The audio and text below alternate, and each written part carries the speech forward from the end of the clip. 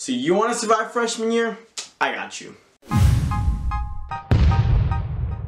Yo, what is going on guys? SeanDoesMagic here, back again with another video. Today we got some advice for the freshmen. Just the other day I posted a video, every high schooler be like, and so I was just like, yo, let's continue this trend with a little advice video on how to survive freshman year. Now I know what you're thinking. Sean, it is the beginning of July. We got at least 60 more days until school even starts. What the heck are you doing posting a school video? As my good friend Autumn would say, shut up.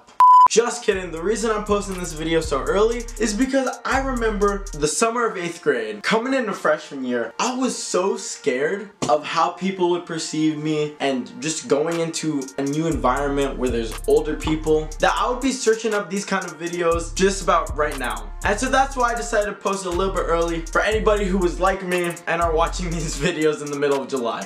But anyways, before this video starts, if you guys can hit that like button down below, and also hit that subscribe button down below with the notifications on, so you never miss an upload. Once you've done that, let's get right into the video.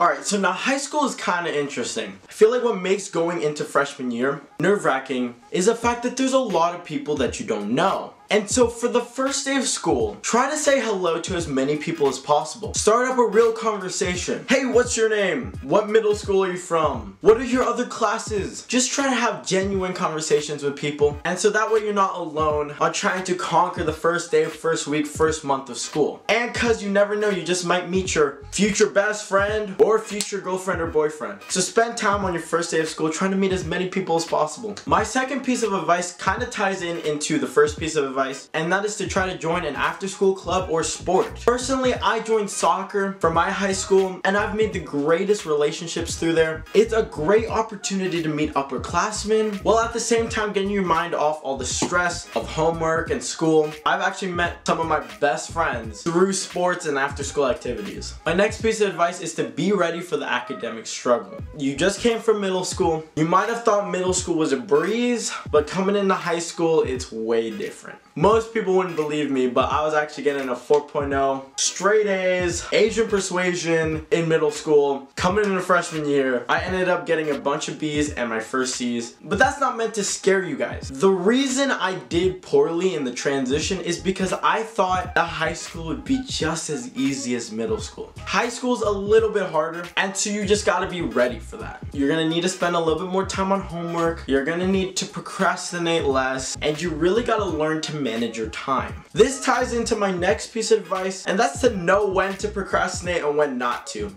Because look, no matter how good of a student you are, you could be trying to aim for Harvard right now, but at one point in your life, you're gonna need to procrastinate. And that's when you need to know when you can and cannot procrastinate. For example, if you got a homework assignment due tomorrow, first period, right when the bell rings, you should probably get it done the night before. But say you're really tired and you got a homework assignment due sixth period by the end of class, then feel free to take lunch or another class period to just get it done.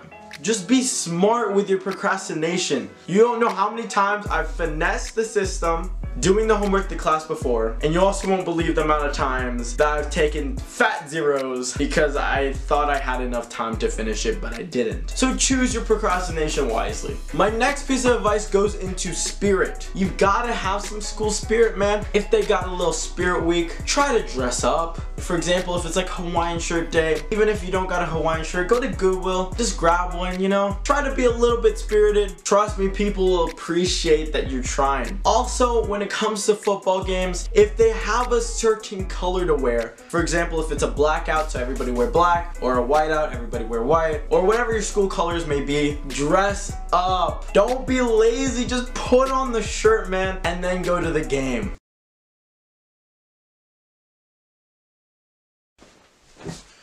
I remember specifically during sophomore year, there were a couple freshmen that went to a football game. They decided to wear white and brown instead of purple, which is what the color was. And man, did the upperclassmen roast them. I talked to those freshmen after the game and they were telling me how scared they were. So don't be them. Part of having school spirit is to go out to the games, Friday night lights, the football games and the soccer games, basketball games. Just go out and have fun. Especially if you have a really good student section that like chants for everything. It's It's a blast, man. Personally, football games are my favorite time of the year. Another big part of being spirited is to also go to the dances. Now I know, you're a freshman, you're a little bit scared to ask that one girl, but just do it, man. Worst case scenario, if she says no, she probably didn't deserve you anyways. Or even just go in a group with your friends. Cause these dances will be the things that you remember when you're done with high school. The last piece of advice I have for you guys is to just freaking enjoy high school, man. You've probably heard this before, but high school goes by so fast. When I was coming in freshman year, I heard that from some people. I was like, okay, yeah, sure, it goes fast. But no, I'm serious. These last couple of years has felt like a few months. You're a freshman right now, and next thing you know, you're gonna be a junior. And then you're gonna be graduated, going into college. It's crazy. So yeah, just enjoy it. If you have to, sacrifice that one homework assignment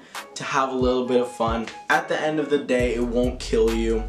Anyways, that is it for this video. If you did enjoy it, please hit that like button down below. Don't forget to hit that subscribe button down below too. We're so close to 3,000 subscribers. I'll be back soon with more uploads. I'm actually working on a prank video and I plan to post more of like magic pranks kind of thing. So stay tuned for that. But anyways, that is it for this video. I'm Sean is Magic and I'm out.